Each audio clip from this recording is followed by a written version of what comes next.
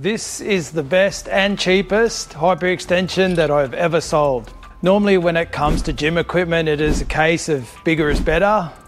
However, the evolution of the ATX hyperextension has resulted in one of the most compact versions yet. If you've been watching my videos on gym equipment, you'll know that I'm not a big fan of the fancy stuff.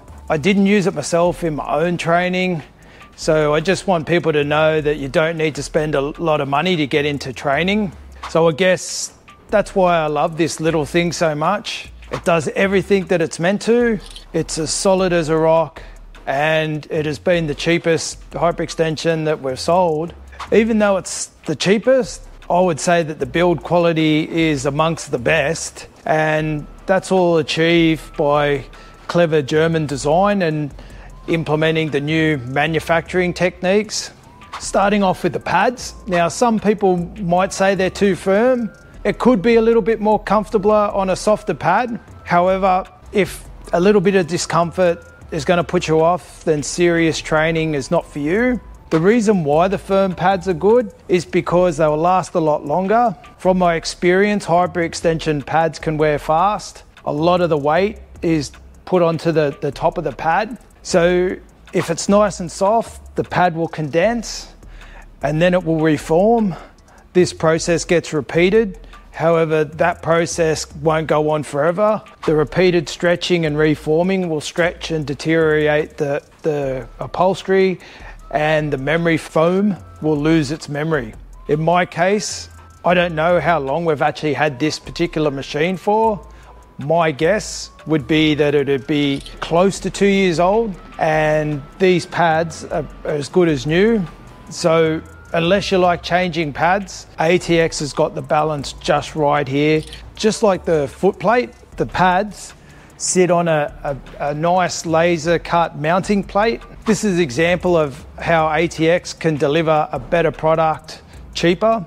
Uh, it utilizes the latest 3D bending technology and laser cutting, and the end result is a, a stronger, simpler, and better looking uh, mounting plate. Moving down, the pads have nine height adjustment positions.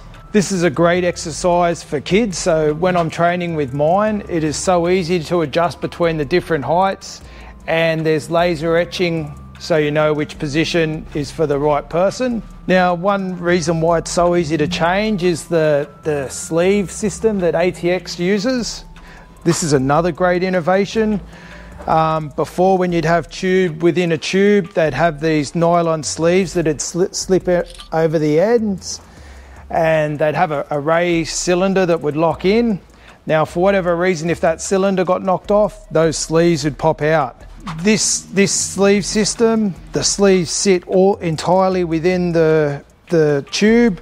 They've got much larger locking uh, mechanism, and the sleeves themselves are just bigger, stronger. Once that slide tube is pushed in, the sleeves are stuck in place.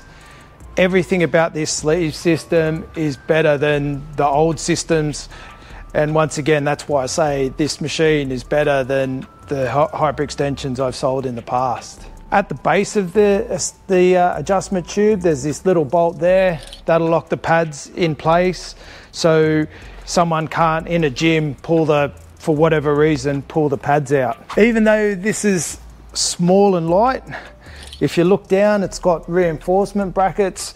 So when you're on there, even when you're using weight, this thing is so solid.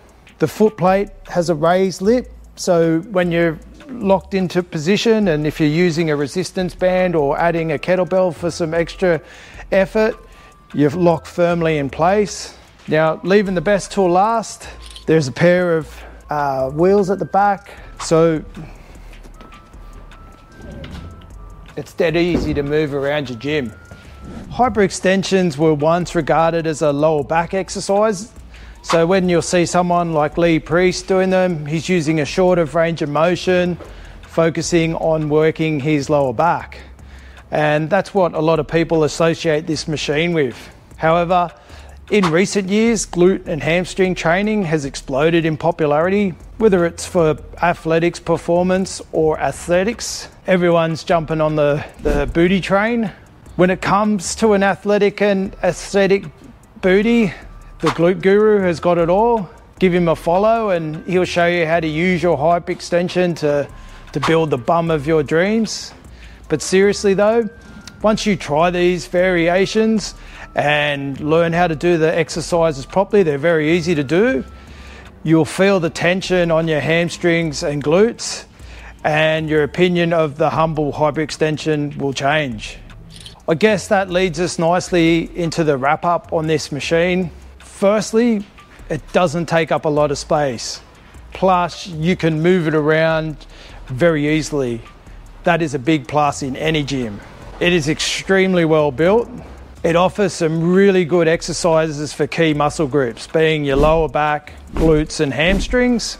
Another one I'll throw in is that it's actually great for stretching your lower back. If I've spent a lot of time on the computer, I'll go out and bang out a few reps and hold it in the stretch position and do them nice and slowly. But best of all, this unit, considering what it does and the quality, it's relatively inexpensive. So it pretty much ticks, ticks all the boxes when evaluating gym equipment. Yes, you can live without this. You do not absolutely need it. But if you wanted to add an affordable piece of gym equipment, then I would put this high amongst the options given its space and uh, affordability and what it can do.